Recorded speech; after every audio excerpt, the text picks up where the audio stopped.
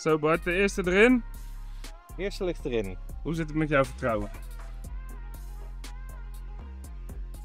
Ja, eigenlijk, eigenlijk best wel goed. Lekker. Ja, zou je niet zeggen? Hè? Oh ja. Nee, maar nee, eigenlijk uh, geef ik toch wel een goede kans. Maar het blijft een gokje natuurlijk, dit. Ja, eh, eh, maar ja, daarom is het ook een experiment. Ja, dood aan zijn korte broek, hè. Dat moet het eigenlijk gaan doen. We gaan zo even wat dieper in op de... hoe we dit doen. Hier naar 19 graden. Het heeft aardig wat geregend en we staan hier ook bij een eh, gemaaltje. Dus dat brengt ook weer wat nieuw regenwater naar binnen. 19 graden is nog acceptabel. Wel alsjeblieft. Pak zwaar materiaal. Zo weinig mogelijk de vis de kans geven om hele lange runs te nemen en om, om zich dood te vechten. Gebruik zwaar materiaal. Beter overpowered dan undergun, zeggen ze. En dat werkt in dit geval zeker zo. It's a brand new day.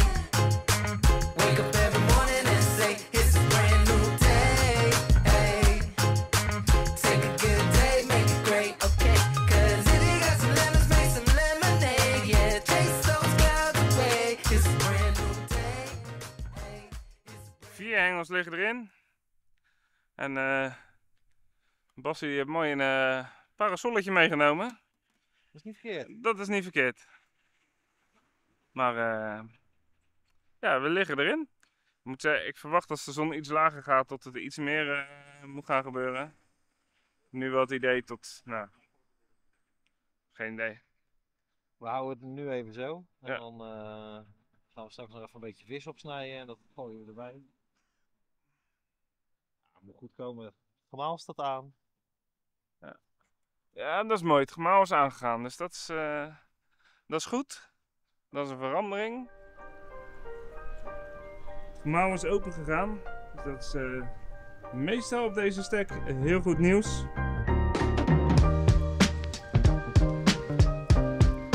Ja hoor. Lekker Bart! Kijk eens jongen, kijk eens naar de camera.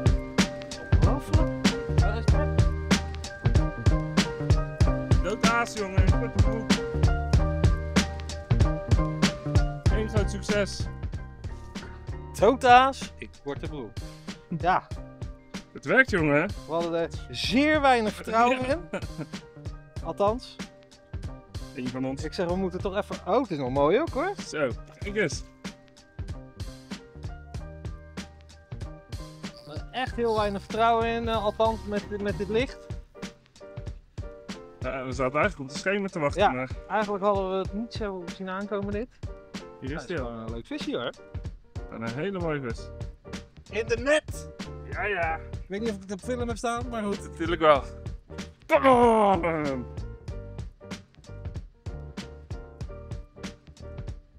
Hoeveel is die Bart?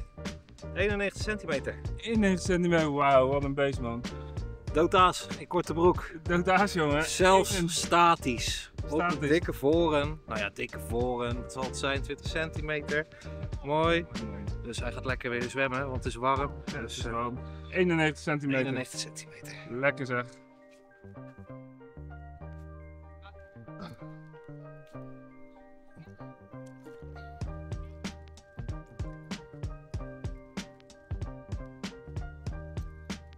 Het is wel belangrijk dat je hem nu eventjes vasthoudt. Even heen en weer bewegen. Dat hij een beetje zuurstof door zijn kiel heen krijgt. Maar je ziet het, hij, hij wil al weg. Hij heeft alleen nog niet echt de kracht. Heel kort gedrild. En dit is op dit moment echt het belangrijkste wat we moeten doen. Geef die vis de tijd. Kijk, je ziet dat hij weg wil. Maar zorg dat je de kracht in zijn staart voelt. Daar gaat hij. Wat je. Lekker zeg. Nou, de hengel ligt er weer in. En eh, ja, we zitten even te evalueren natuurlijk. Maar super tof. Gewoon. Zien het gemaal aangaan. Nou, jullie eh, hebben het gehoord. Ik zeg. Ja, als het gemaal aangaat, hebben we eigenlijk nog nooit geblankt hier. En 20 minuten na het gemaal, bam. 91 centimeter. Nou, beetje een korte video van de vis zelf. Maar dat is zoals we al zeiden, het is nu gewoon binnenhalen, onthaken, genieten, kijken van naar de mooie kleuren. Dat natuurlijk wel. Maar niet nu voor de camera of weet ik wat allerlei dingen uithalen. Gewoon de meetlat hadden we al klaar liggen in de onthaakmat. Even gemeten, daarop gelegd en gelijk de vis weer teruggezet.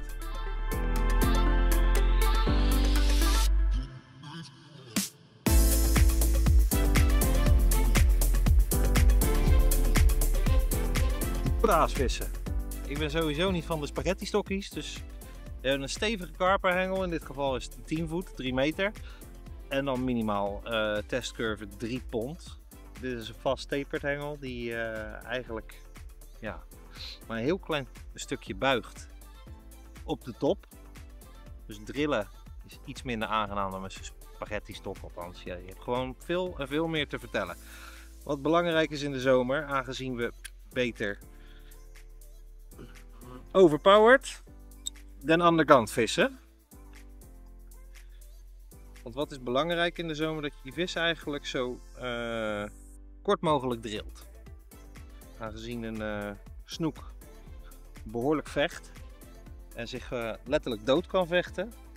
En in dat warme water gebeurt dat gewoon veel sneller. Dus het is zaak dat je hem snel op de kant krijgt, snel onthaakt en weer heel snel terugzet. Dan molen. Ik heb een big pit. Ja, normaal gesproken vis ik met pike swingers, maar die ben ik vanwege uh, verhuizingen en zo een beetje kwijt. Dus die komen wel. Dus we vissen vandaag weer gewoon met swingers. Maar een big pit met een uh, quick drag. Dat wil zeggen dat hij uh, binnen een paar slagen eigenlijk alweer op, uh, op gevechtsmodus staat. En weer dicht. Dan een flink, flink gevlochten lijn zinkend. Uh, dit is de Ashima 2800ste. En daarop hebben we een voorslag zitten, een hufteproof voorslag. En dat is een whiplash. Hufteproof wil zeggen, hij is glad. Hij is gecoat. En daarmee slijt hij uh, minder goed. En kan je hem eigenlijk ook wel over gewone mosselbanken uh, vissen. Als je echt met mosselbanken te maken hebt, kan je beter nog eventjes een uh, erop zetten. Maar dat kan ook gewoon een meter of twee meter zijn. Dit doe ik meestal twee keer of drie keer de hengellengte. Verder. De laatste meter. Hebben wij. Even kijken of ik ze zo zie zitten.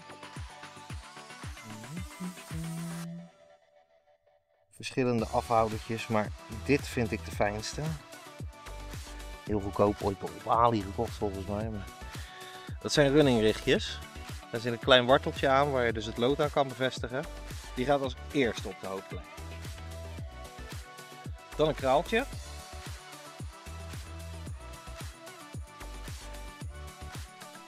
Om ervoor te zorgen dat de runningrichtmontage niet verder kan. Die stopt daarop. Dan doe ik er een rubbertje op voor de wortel zodat als de hele montage er tegenaan knalt, die de knoop beschermt. En dan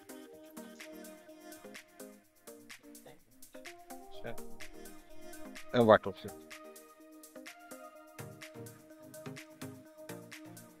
Even simpele knoop gooien weer erop. Maar ook deze knoop heeft me nog nooit in de steek gelaten, dus Waarom zou ik het niet doen?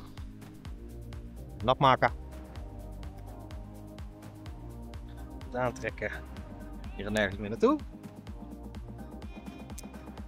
Schuiven we het eerste rubbertje over de wortel heen. Zie je wordt de knoop beschermd bij het tikken van het lood. Dan de onderlijnen. Zelf maken we gewoon soepele onderlijnen met een wortel eraan. Daaraan bevestigen we één dreg en een stinger. Dit is mooi soepel materiaal, is van Savage Gear. Gaat eigenlijk bijna niet kinken. Daar doen we eigenlijk vrij lang mee. En aangezien we ze zo maken, kan je makkelijk de dregel vervangen. Stingertjes maken van hetzelfde materiaal. Visje eraan hangen. En dat was het.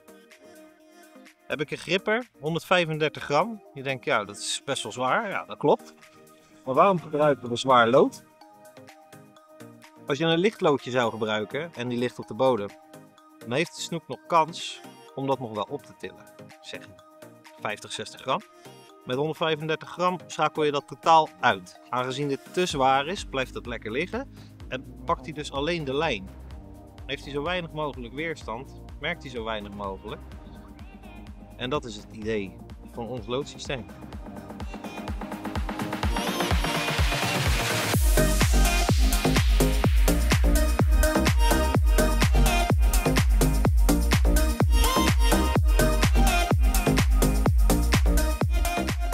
Bedankt weer voor het kijken. Wij gaan lekker opruimen. Het is eh, kwart over tien.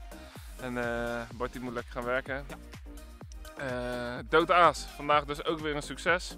Niet meerdere vissen, maar wel één hele mooie vis van de 91, eh, van de 91 centimeter.